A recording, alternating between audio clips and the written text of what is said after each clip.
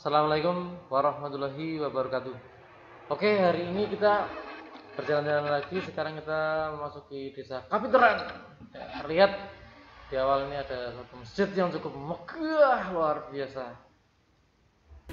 Bapak. Oke, sebelum kita bahas lebih lanjut, di sini kita akan lebih lanjut membahas tentang desa kali eh, Kapiteran.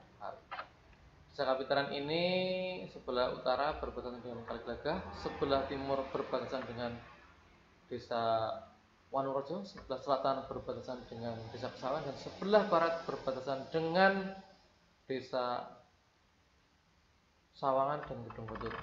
Oke, di kiri kita lihat adalah ini ada SD Kapiteran dan ini juga tadi ada pintu gerbang yang merupakan pintu gerbang menuju ke arah Curug Bangkok. Saya dulu pernah ke sana zaman oh tahun 2010-an lah lama-lama. Oke, di sebelah kiri ada makam nggak tak syuting. Kita masih lurus terus melihat suasana dari Kapiteran yang sebelah kanan kiri. Ya. Sebelah kiri adalah pemukiman dan sebelah kanan adalah pekarangan penduduk dan tidak jauh nanti kita juga akan melihat ada suatu sungai yang cukup lebar kalau nggak salah namanya sungai Kedung Bukit. Ini adalah kapiteran yang sebelah barat karena sebelah timur dan utara itu berupa pegunungan. Kita belum sampai ke sana karena sepeda jadi agak rempok mungkin bisa nonton kalau kita naik sepeda.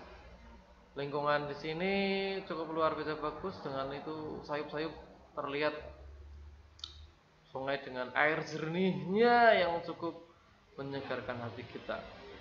Desa Kapitaran ini adalah suatu desa yang merupakan terletak di Kecamatan Kemiri yang paling barat berbatasan langsung dengan Kecamatan Pituruh. Lewat jalur yang dari Pituruh ke utara menuju ke Pamrian. Ada dua desa yang masuk ke Kecamatan Kemiri. Padahal lebih dekat ke Kecamatan Pituruh. Padahal mereka itu Kemiri. Sangat sayangkan ya. Kasihan jaraknya lebih dekat tapi kecamatan itu oke sekian terima kasih. Semoga yang kita sampaikan bisa bermanfaat dan bisa menambah referensi dan juga yang bisa kangen bisa terobati. Sekian terima kasih. Assalamualaikum warahmatullahi wabarakatuh. Ciao Arif Haidarsi. Sampai jumpa lagi